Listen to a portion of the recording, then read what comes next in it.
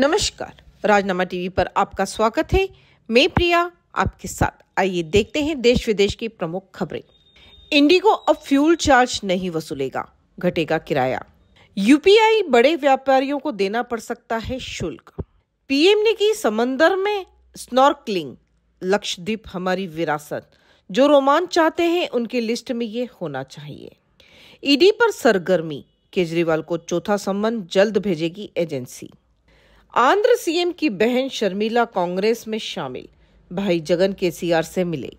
Iran में Islamic state ने ली बम धमाकों की ज़िम्मेदारी, सौ लोगों की मौत हुई। कश्मीर का सुरक्षा प्लान 2024 पूछ, राजौरी में सक्रिय 25 से 30 आतंकियों के खात्मे की तैयारी।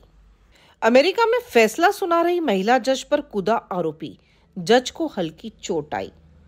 अब नेपाल से बिजली खरीद सकेगी भारतीय कंपनियाँ।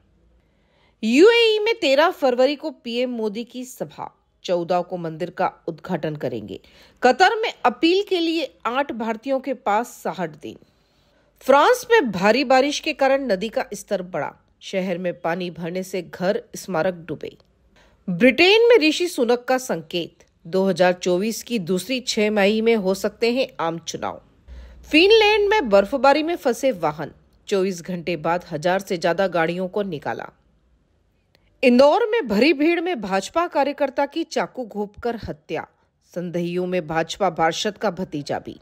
बाकी की तमाम खबरों के लिए बने रहिए राजनामा टीवी के साथ। धन्यवाद।